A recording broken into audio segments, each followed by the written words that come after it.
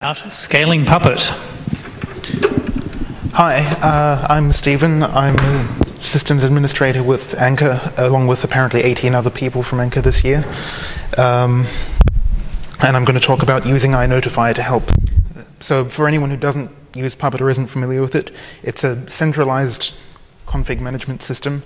By centralized, I mean that there are a number of nodes um, which run a Puppet agent and connect to a Puppet master, which um, tells them what their configuration should be, and then they go and apply that. Um, to give some background as to why we made the decisions, decisions we did, we use a single large production environment in Puppet with close to a thousand nodes. We also, in addition to those nodes, we also have some global virtual resources for things like monitoring on nodes that we don't run Puppet, which are then collected by monitoring servers. And we tend to use Puppet such that we make very small changes, often specific to one node, and we want to see that change take effect straight away. And that's a very slow workflow with Puppet, and I'll get to explaining why that is in a moment. So uh, ultimately our goal in all this is when we make a change in Puppet, we want that to apply immediately when we roll out. And until a few months ago, we achieved that by um, as part of our rollout process, restart the Puppet Master and it just reparses everything. The problem and the reason that this is slow is because the Puppet Master takes a long time to parse manifests into code internally. Um, the time taken is negli negli negligible with a few manifests. It's probably somewhere on the order of a second for every 20 manifests. But when you start getting close to a thousand nodes, that starts getting significant. So we, when you combine our nodes with the global virtual, virtual resources I mentioned, we have 1,300 manifests that get parsed on every startup, and that takes just over a minute. And uh, to, to reiterate, that's a minute on every Puppet rollout, because we're restarting the Puppet master on every rollout. Um, the reason that's a problem is because the Puppet Master can't do anything else while it's parsing those. When you do a rollout and then you do an agent run, that agent run just hangs for just over a minute while the Puppet Master's not actually doing anything but reparsing code. Um, Puppet itself um, has a very, very coarse internal caching. It um, Puppet has the, the concept of environments, and you can only expire code with upstream Puppet on a per environment, environment basis. Um, since we use a single large production environment, that is just as bad as doing a full restart, because if when you expire the environment, you have to go and reparse all that code anyway.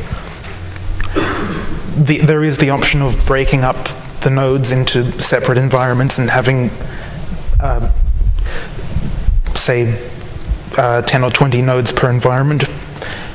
But we used to do something similar with multiple Puppet Masters back in the days of Puppet 2, um, and we found that that didn't work well with our workflow, um, primarily because we tend to ha we have a very large set of standard management, and it works best for us to keep that all in the one tree. So given that Puppet's caching doesn't suit our use case, we looked into what solutions we can implement ourselves. Um, we could have Puppet just pull the file system and see when files had changed. Um, one idea that was suggested was to have, um, because we manage all our Puppet manifests in Git, when we do a rollout, we can have Git say to Puppet, these files have changed, please reload them and there was the option of having the Puppet Master itself listen for files that have changed using iNotify. Um, if you're not familiar with iNotify, it's, um, it's a subsystem in the, Linux kernel that um, you can say, please tell me when this file is modified or deleted or renamed or something, and the, the Linux kernel will then um, put notifications into a queue, and you can then process those notifications once you're ready. The thing with all three of these options is that they require Puppet to be able to remove code on a per file basis, which is, as I said, is something it can't do only on a per environment basis. So naturally, the first step was to have it um, have it be able to expire code. Um, this diagram is it's sort of a subset of what things look like internally in Puppet. You have a bunch of agents that connect to the Puppet master in an environment. An environment contains a type collection. Each type is the, the name type internally to Puppet can refer to a node, a class, or a defined type um, externally to Puppet.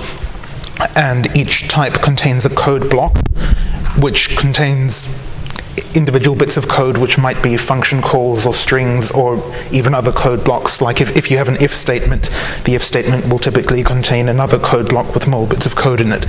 Um, so that's kind of the structure that we were dealing with. And we needed to be able to expire, first of all, if a type was defined in only one file, we needed to be able to remove that entirely. And if if a type was defined in multiple files, which typically only happens with the main class, um, if you're not familiar with Puppet internals, the main class is um, basically everything that's in top scope. If you don't put anything inside, if you don't put something inside a class, it's in a class with the name of an empty string, which is called the main class. So we need to be able to expire bits of code as well. So we implemented a general purpose file expiration mechanism that does just that. Um, there's a bit of it in the code for a type to remove bits of code, and there's more code in the type collection to remove entire types. And um, it actually worked out that we could do this without changing too many of Puppet's internal APIs because each bit of code already has, has associated with it file and line information. So we could just use that information to tell um, which to, to associate each bit of code and each type with a file and expire those as necessary. Um, because of the generic nature of the expiration API, this actually has nothing to do with iNotify yet. Um, this could be um, hooked into any external source of, um, of file changes or even a file polling API or something. So the first option we had to consider for what to hook into that API would be file system polling. That's by far the most portable, but it's quite slow um, when you're having to poll um, thousands of files to figure out which ones have changed. That's not particularly efficient. It could be implemented as a fallback me mechanism, but we wanted to take advantage of the fact that our environment is all Linux, so um, we didn't implement this, but it probably wouldn't be too hard. Um, asking Git for changes is sounds very clean and efficient in the sense that um, Git is kind of the definitive, definitive history of what's changed.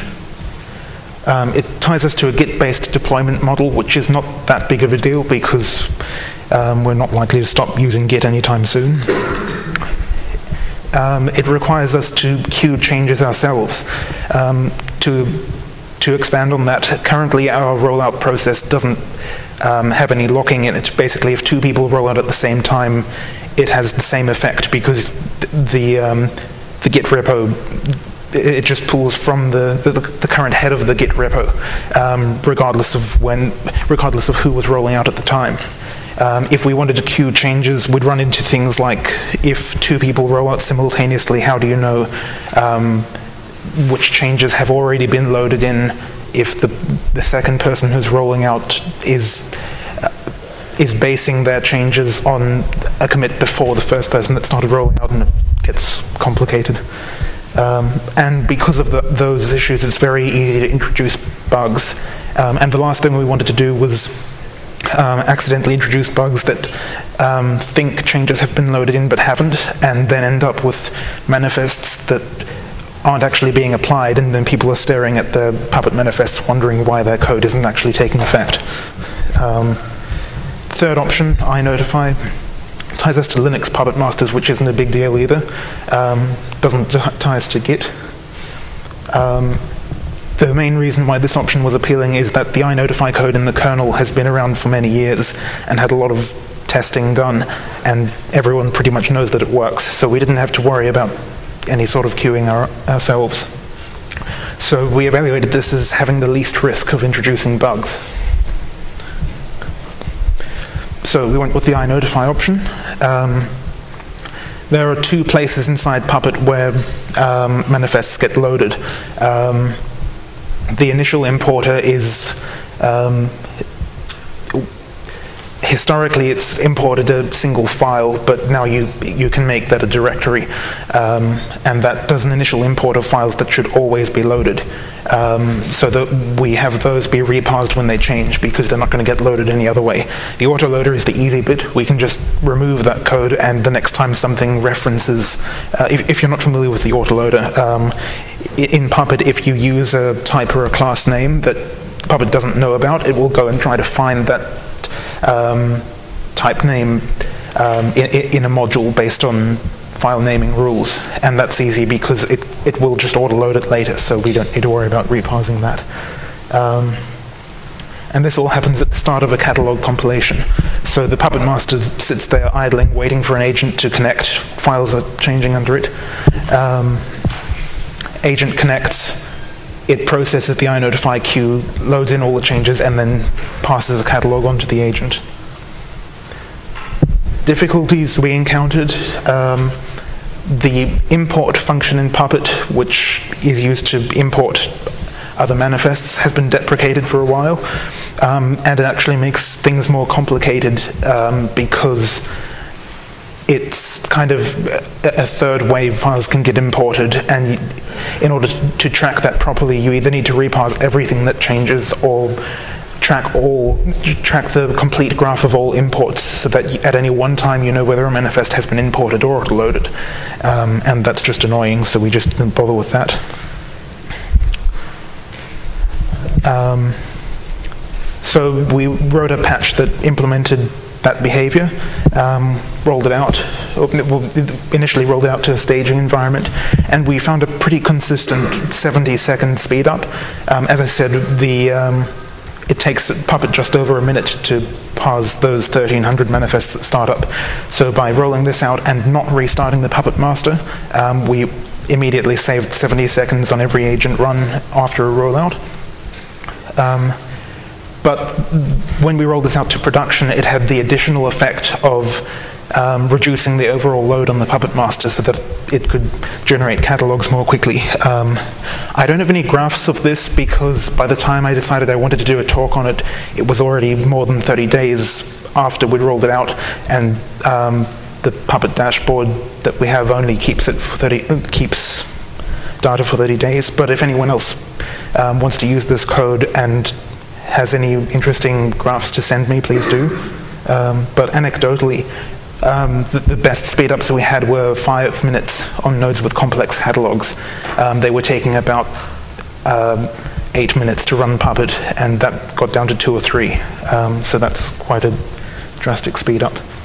Of course, it doesn't help if in, in, cases where the slowness is on the agent side, um, for instance, when using types that are particularly slow to um, do their thing, um, it doesn't help there because it's purely a master side speedup.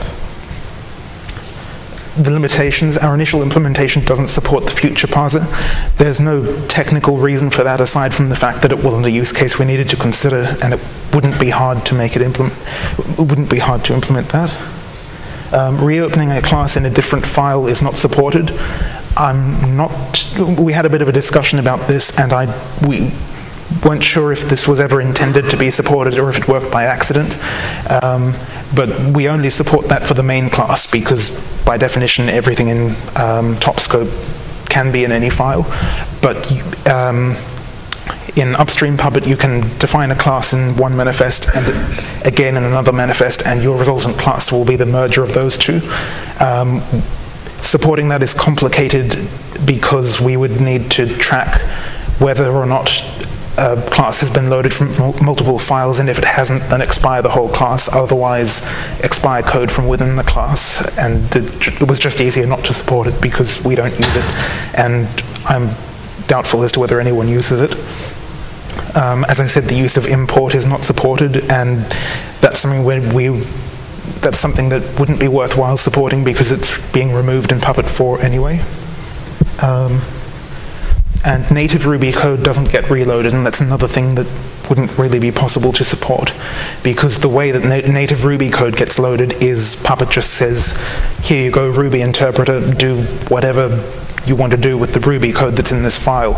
Um, which means we'd have to then hack the Ruby interpreter to be able to expire Ruby things. And because Ruby is not declarative as Puppet is, that is a lot more difficult. So the way we handle that is just if any native Ruby code has changed on rollup, restart the Puppet master anyway to pick up the new changes.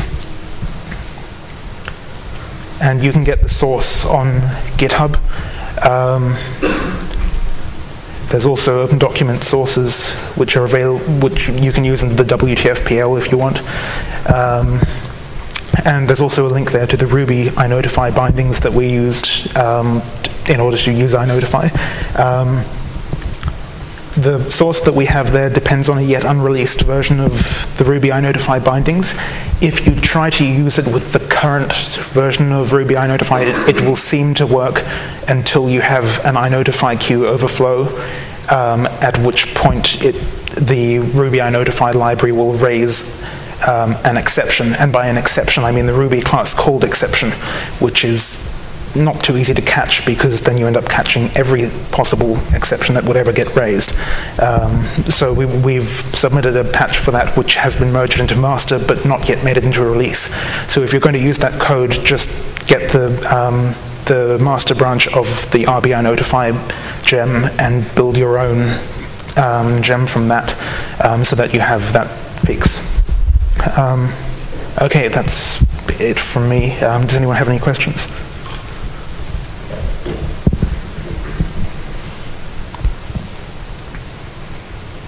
Got about five minutes for questions before the break.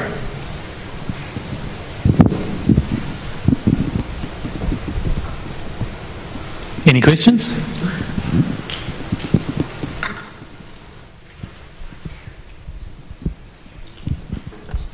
I'm familiar with uh, iNotify, and I think it's the most wonderful facility thanks to all the kernel hackers who made it work so well.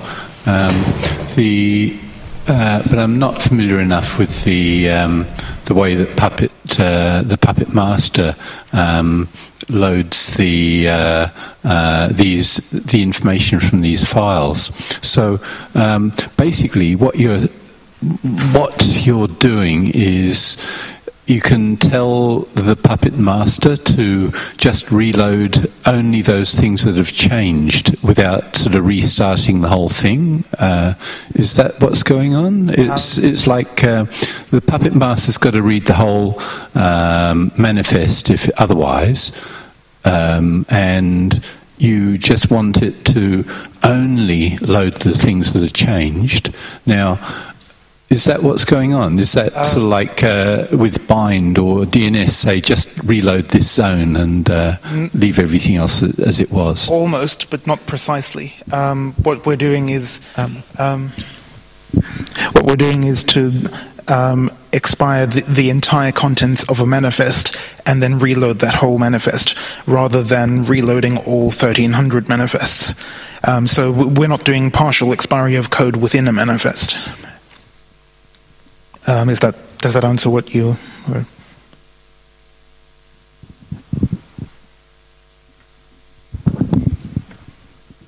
So I, am still uh, not very um, not. I'm still not familiar enough with Puppet manifests to be 100% clear on that. But what you mean then is that uh, there are lots of manifests that the Puppet master needs to reload, and that what we're doing is figuring out which manifests to reload. Is that what? Yes. Is that what's going on?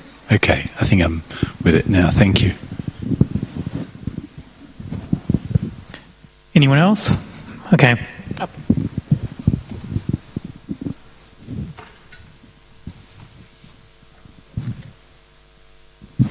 I don't have a question. I just wanted to see you run up the stairs. No. Um, I'm, I have one question and possibly a follow-on depending on your answer. Uh, is this a patch against the core Puppet code or does this end up being a module that you effectively load? Uh, um, it's a, currently a patch against Puppet 3.7.3. Um, we haven't tested it against master yet, and it might require a bit of work because they've just completely removed the current parser from that code. Um, so my, my follow-on question then is, have you or are you considering pushing that change back to Puppet Labs? And if so, have they been amenable to that? Um, probably not the code we currently have because of the caveats that I mentioned.